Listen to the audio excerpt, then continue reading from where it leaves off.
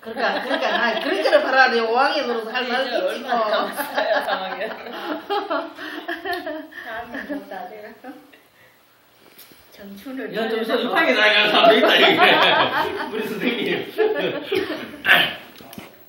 난 오왕이. 부위로 행사에 그럼 내년 내년 유강입니까? 노래 배워 뭐, 뭐. 사, 오, 아니다, 아니다. 나는 유광이 아니고 내년에 오왕이 씨빠지.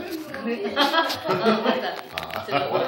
아, 저 원래 원래 멘트가 한가리니까 내년에 그 유광 일반은 피하지는 못하지만 오왕이 씨빠까지는.